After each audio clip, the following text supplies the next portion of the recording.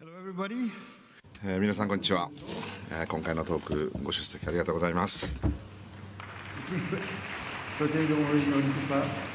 ありがとうございます uh, え uh, ージョハネス・ルーベンと申します。ジョーというふうに言われております。私、テクニカルマネージャーとして 2D チームの方のを担当しております。まあ、あー Unity の 2D のいろんな機能を担当しております。私ども 2D の方に特にフォーカスをして、さまざ、まな機能やツールを提供しております。2D のユーザーさん、また開発者の方々に活用していただきたく思っております。私ども、えーまあ、そのエンジンの中だけではなく、まあ、いわゆるバックエンドだけではなくそれに加えてよりいいツールを皆様にさまざまなあユーザーの方がおられますけども提供したいと思っております。え特に最近特に力を入れておりますツール機能。まあ、これらはアーティストの方々やデザイナーの方々が今まで以上に作業しやすく、えー早くスピーディーに、えー、ユニティを活用できるようになるとものだというふうに考えております。まあ、それによってユニティでえより楽しいゲームを作っていただきたいと思っております。で今日はですねプレビューということでいくつかこういった機能やツールとして今開発中のもののご紹介したいと思います。えーユニティのユーザーの方々に将来使っていただければとお今考えているものですけれども今こういったようなものおまあ、2D 関係のこういったあレベルシーンをいろんなタイルやスプライトをつく使って、まあ、構成するのはかなり大変ですし時間もかかるのは皆さんもよくご存知だと思います、まあ、今日ご紹介するツールは、えーこういったようなあシーンを作るのをより、えーずっと今までよりもよりよりよく作れるより簡単に作れるようにするものです、それでは始めたいと思います。まず最初にご紹介したいのは、えーまあ、単純なスプライトこれを活用してより早くうまく活用できるようにしたい。そのために私どもが今準備しておりますしておりますのが9スライスというものです、えーまず最初に Unity ちゃん 2D これをこちらに出してきました。で単純なプラットフォームでスプライトで簡単に何か作っていきましょう。はいスプライト何があるかこれを取ってきまして通常ですとこういったスプライトをこうして持ってきてアライメントをして一緒にして複製しコピーしてえーこうしてまた置いていくまたさらにこれを繰り返す繰り返す。でこれ結構時間かかりますよね。でそこでですねもっと簡単に一つのスプライトにしてコピーをするというよりもこれを一つスプライトを置いたらですねでドローモードのところにでタイルにします。タイルドにしました。であとはもうドラッグすればこうして自動的にタイルが反復してくれるということになります、えー今まで2分かかったものが2秒でできるようになるといったようなことで、まあ、大きな大規模なレベルやシーンで2時間3時間かかってたものを数分で、え作れてしまうということになります。これをベースにこういう形で回転させてもローテートさせてもこのようにしてタイルがあー拡張していきます。こちらの方向にもお拡張していきます。でこのタイル2つのモードがあります。でこれはですね今やったのがこちらこれがあのちゃんとストレッチしてくれるものです。でタイルでかなり詳細まあしてるものであまりストレッチさせたくない場合には今度はコンティニュアスというものですね、え同じテクチャーをそのまま繰り返すということになります。でより有機的な形で、えーまあ、ちょっと引き伸ばしたりストレッチするといったようなこともできますし、えそのまま正確に繰り返させるとということもできます。でこれがでアダプティブに戻しますと非常に単純な形でこれをグラウンドにセットしましょうか、えースクリプトユーザーの方でグラウンドチェックしますのでそれからここにボックスをコライダーをつけます。アッドします。ボックスコライダーですね、えそしてこれでもうそのままあプレイできます。非常に簡単に今これちょっとずっとスライドダウンしてますけども基本的なところが作れます。非常にあの単純なタイルについてです。でこれをナインスライスと名前を付けております。で例えばここに2つテクスチャーがありますけども大きなファイルでこれスライスしてあります。ここからここまでを1つのタイルここからここまでをという形で。でこれが、ま、9スライスというのを9つスライスに分けております。で、えー分かります。でこのこのコーナーのところはそのまま変えないようにしてその中のところをストレッチできるようにすると。これも非常にあのブランクのタイルそんなにたくさん準備しなくても簡単にこれをストレッチできてしまうと。例えばこっち側使いましょうか代わりに、えーこっち側に置いて同じような形でこちらでタイルにしてそして自動的にタイルにできます。で.非常に高速にえー迅速にいろんなものをお作成し、えーもちろん回転もできます、えーこのように小さくすることもできます。で非常に極めて、えー早くクイックにできますこちらの方も一つまた別のを使いましょうかごめんなさい。タイルにするの忘れてましたね今のは。でそしてタイルにしてからやるとこうして自動的にリピートしたタイルになってくれます、So very quickly. えー非常に早く簡単にタイルレベルを?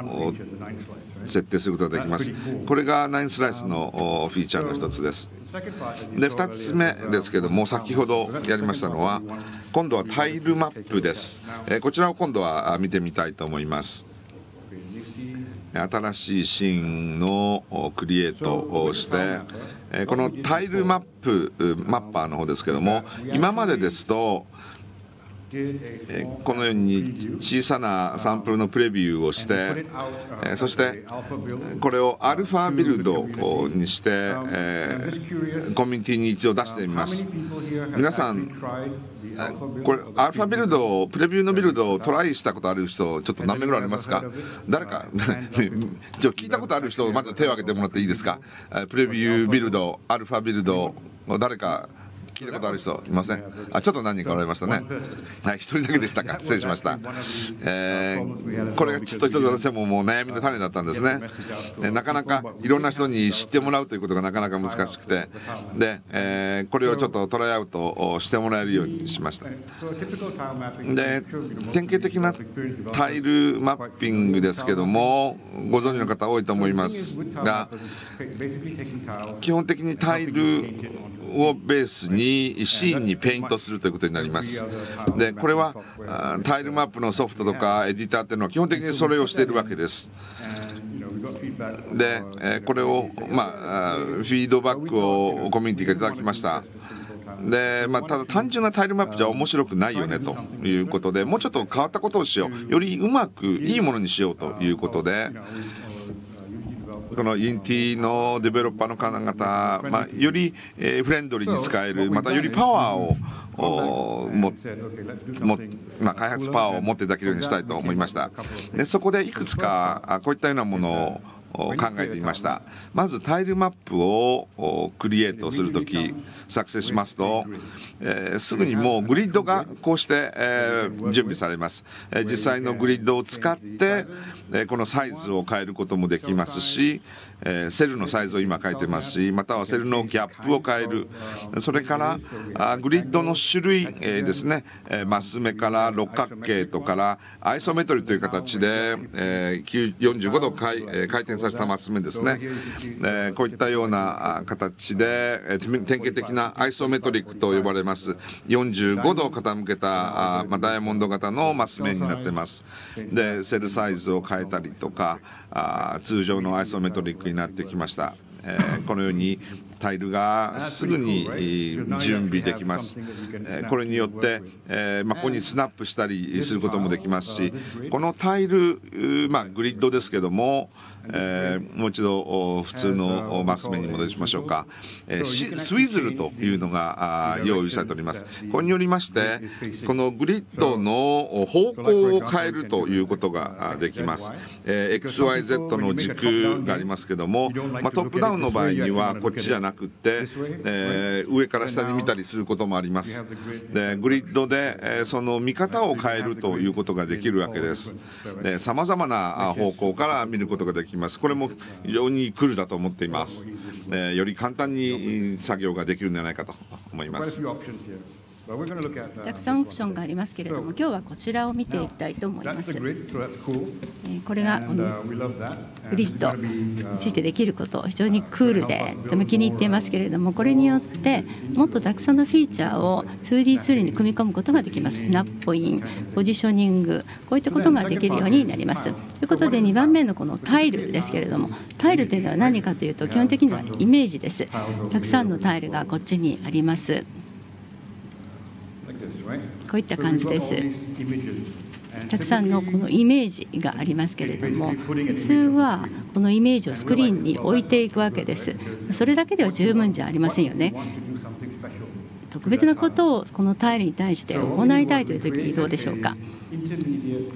中間層のアセットタイルアセットというのを作ります。それによってたくさんクールなことがすごいことができるようになりますタイルアセットの作り方は簡単です。普通は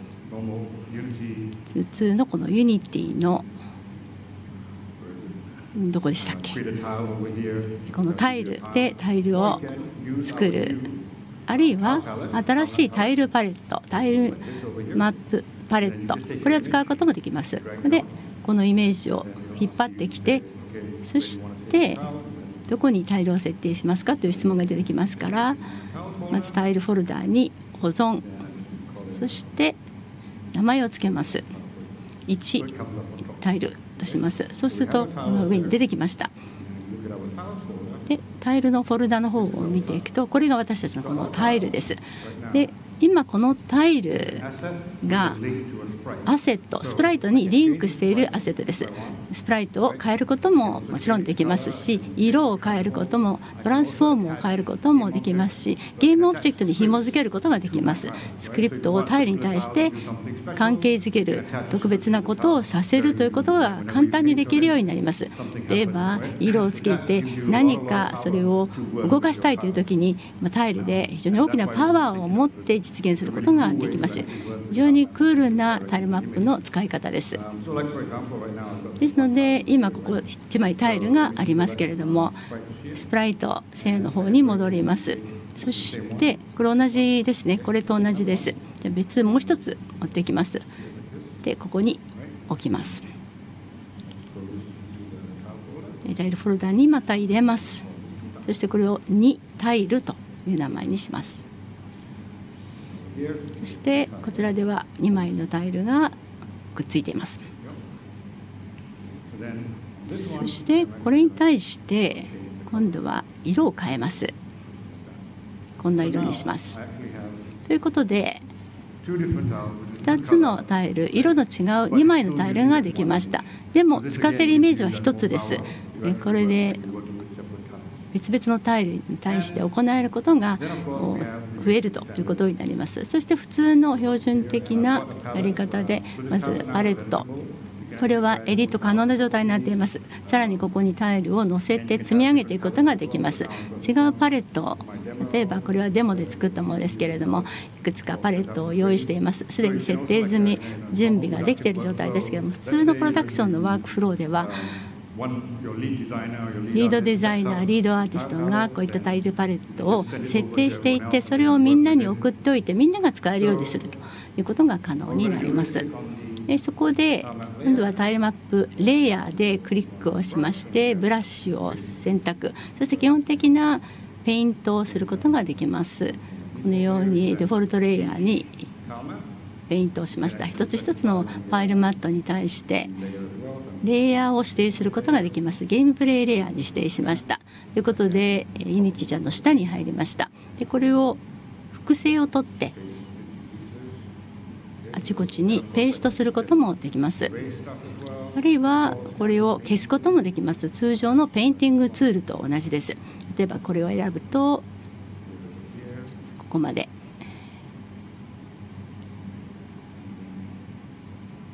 そして今度こっちです。こういったものを今作りました。それからレイヤー全部を対象にして動かすことができます。ですので固定されているわけではありません。レイヤーを回転させることも可能です。いろんなことが各レイヤーでできます。そしてバックグラウンドができましたので今度はもう1枚レイヤーを作りたいと思います。ゲームプレイ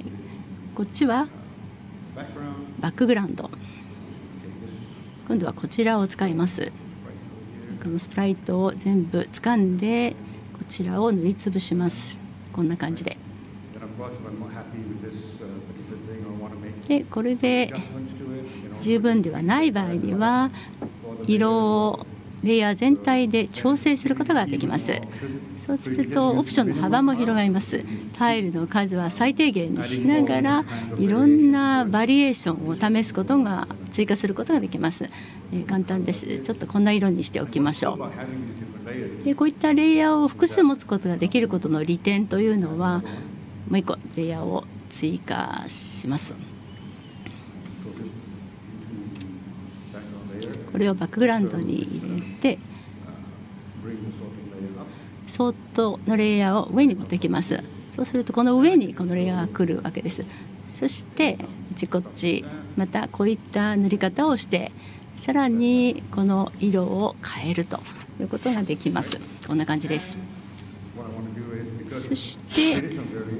ろんなバリエーションができました？そして今度はレイヤーを少し動かしてみると。そうすると少しずれて入ります。タイル一つ一つ明確に入らなくてもタイルの中に抑え込まれることではなく動かすことによって少しまたバリエーションを広げるパターンをブレイクすることができます。これも非常にパワフルでクールです。例えば私が好んでよくやることですけれどもこれを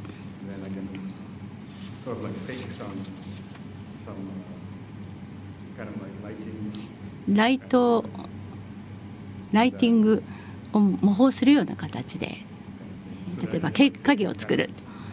こういった影のようなものを作るということもできます。で簡単にプレイすることもできます。このレイヤーにいてゲームプレイレイヤーの方に行きまして。そしてポリゴンコライダーを追加しますそうすると自動的にこれが入りました。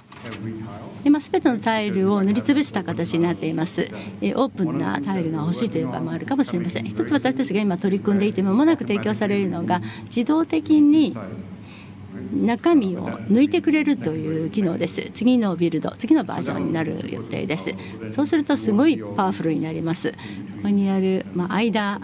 にものについて最適化することができます。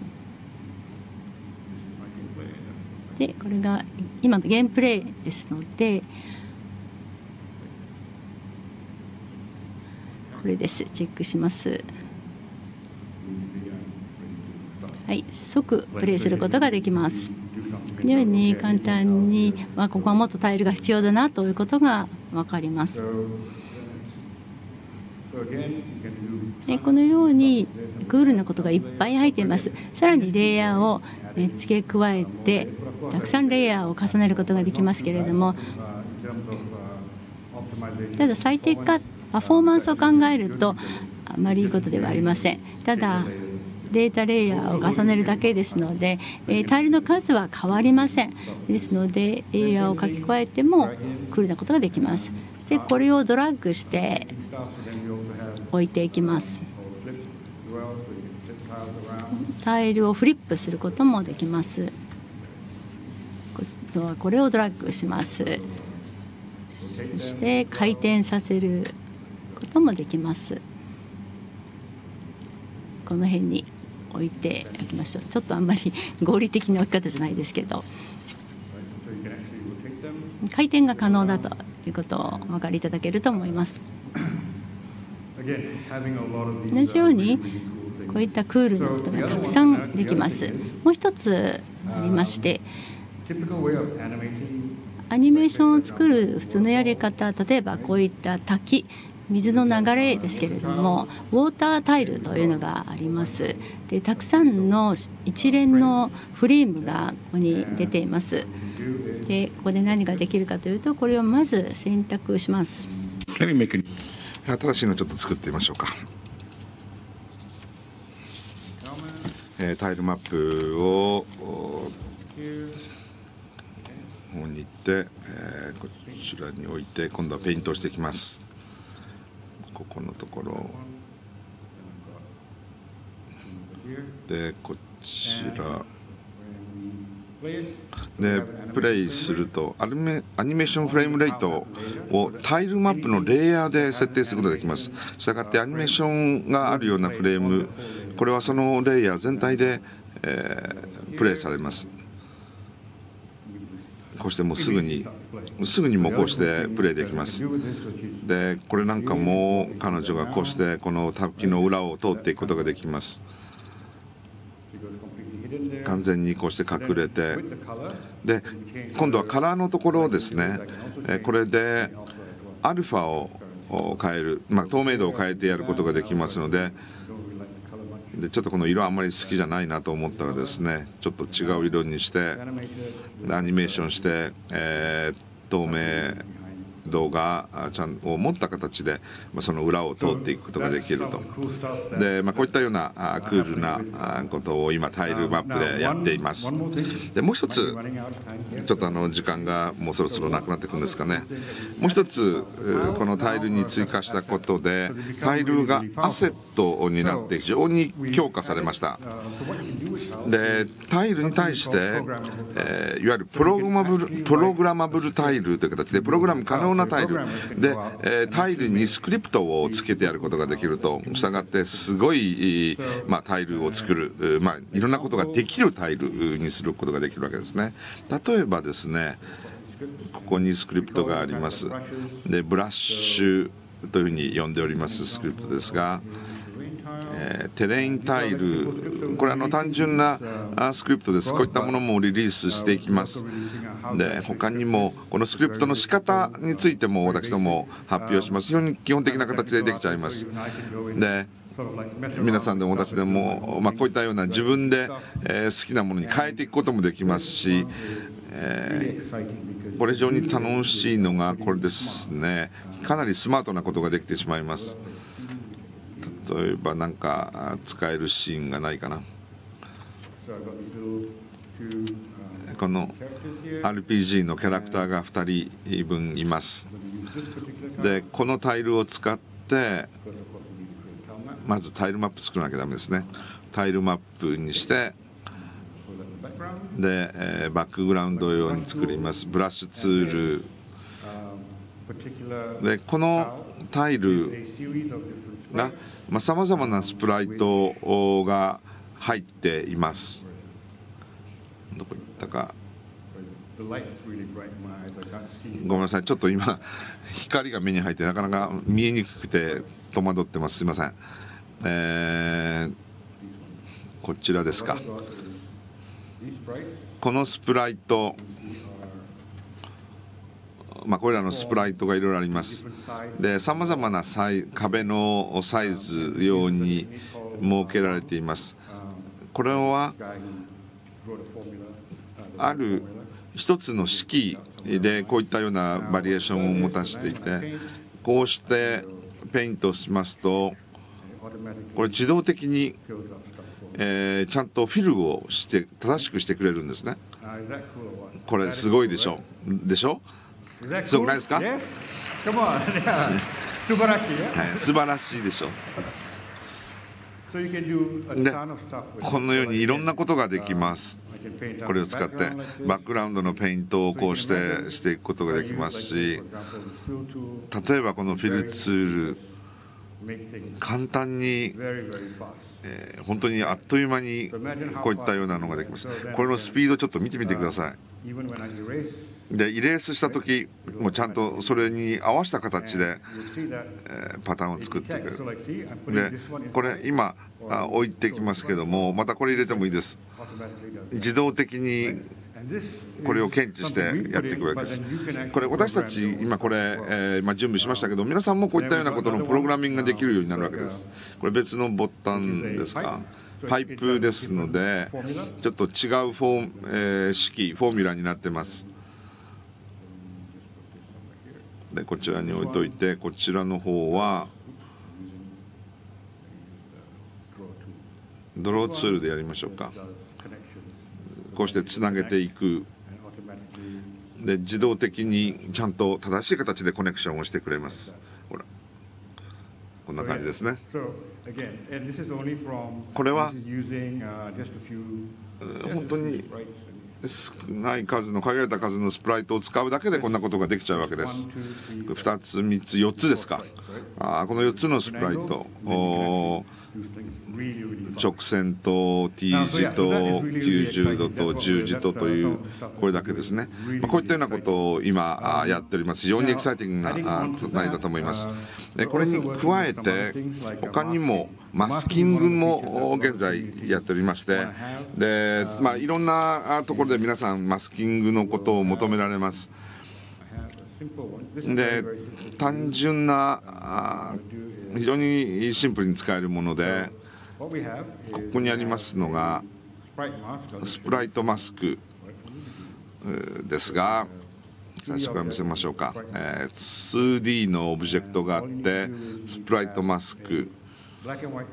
で、えー白黒のテクスチャーアルファ白黒ってもうおモノクロームですね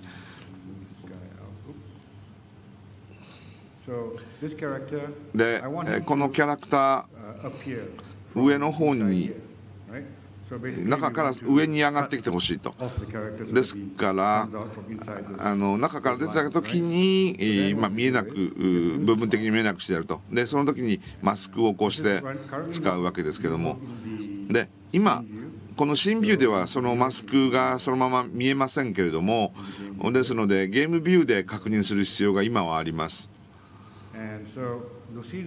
で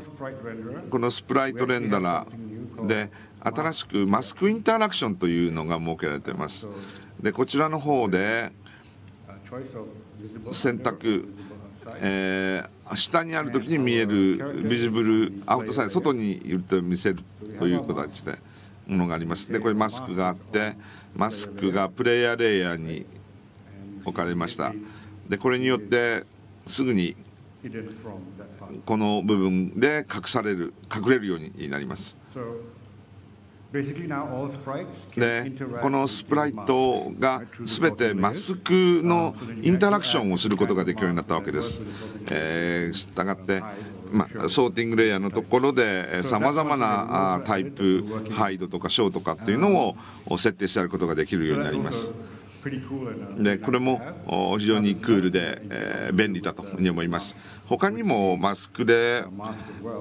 やることができるのが、えっ、とスプライトはどこ行きましたでしょうか？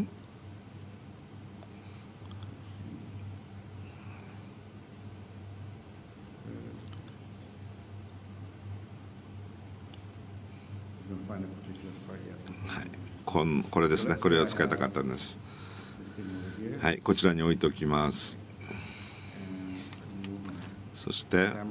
このカメラを動かして見えるようにして、えー、サイズ全体が見えるようにしました。でスプライトマスクをここでアッドします。追加します。でこちらグレースケールがついております。完全に白黒じゃなくて、グレース.ケールのおエレメントも中に、えー See 持っていますでこれをデフォルトデフォルトそれぞれ設定してで 2D スプライトの方でビジブルアンダーというマスクにしましたでここでアルファのスレッシュホールド値を敷地をこうしてえ、つけて、えーまあ、どれぐらいのところで見せるのかということを決めることができます。えー、アルファ値を使ったものです。フルスクリーンでもできますし、まあ、なんかスペシャルエフェクトのような形で一つのシーンから次のシーンの方に行くときにィゾルブするような感じで、えー、やることができます。えーまあ、このようにナインスライスをやったり、タイルマップを準備したり、そして 2D のマスキングも今準備しております。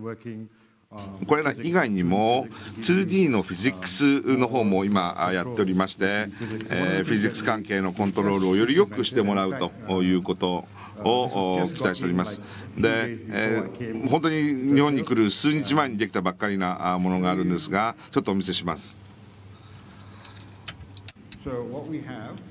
で、ここにありますのが、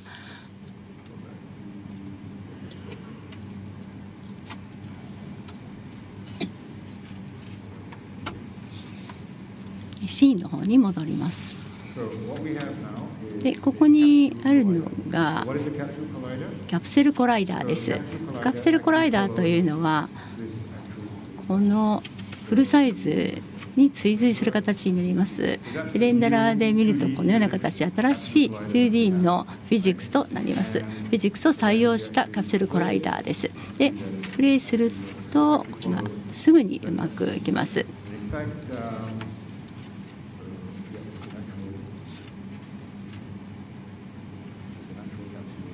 実際のカプセルです。で当面このキャラクターもこのキャプセルコライダーを使ってるんです。ですのでこの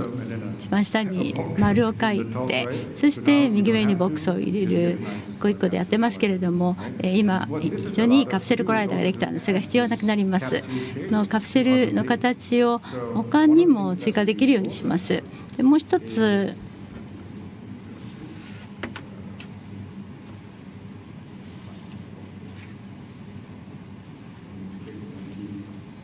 空っぽのゲームオブジェクトをまず作ります。エッジコライダーがあります。ポリゴンコライダーありまして、これはエッジコライダーです。で普通はこんな感じですね。こういったことをやるわけですがカプセルコライダーがあればエッジラジアスというのがありますのでこれができるようになるんですこれもスーパークールですこれを考えるといろんなことができるようになります非常にクールですカプセルコライダーを新しくしたためです 2D チームが時間をかけていろんな実験をしてやっているところですえー、今日は以上です。お見せしたかったのはこれだけになります。えー、いろんなことに皆さんが楽しみにしてくださればいいなと思います。で私たちが 2D チームでやっていきたいなと思っていることの一つですけれども実験ベースのプレビュービルドというのをリリースしようと思っています。これはいわゆるメインのリリースとは違ってベータ版とは違うんですけれども特別なビルドになります。今お見せしているものがこういったフィーチャーが全部入るビルドです。おそらく数週間ぐらいに皆さんにリリースしてみんながトライできるようにします。フリーでもあるいはプロの人でもどちらの契約の方でも実験していただいて皆さんのフィードバックをいただきたいと思っています。皆さんが使っていただいて何が良かったとかこうやったらこうなったとかこんなことを追加してほしいという嫌だと嫌いだという話でも意見でも結構です。エクスペリメンタルなプレビューですので皆さんに実験をしてもらって使っていただいてこれはダメだという意見ももちろんそういう意見を尊重してやめるということもあるかもしれません数週間後に出てきますのでぜひご注目くださいソーシャルメディアフォーラムの方に注意をしていただいて新しいサブフォーラム 2D で始めます 2D エクスペリメンタルプレビューという名前になる予定です。そこに皆さんが投稿していただいたり皆さんのフィードバックを入れていただいたりすることができます。皆さんのフィードバックをいただくことが本当に重要なんです。まあ、皆さんも楽しみにしていただければいいんですけれども、数週間後になりますので、ぜひダウンロードして、自分の手で使ってみて、そしてぜひフィードバックをください。ありがとうございました。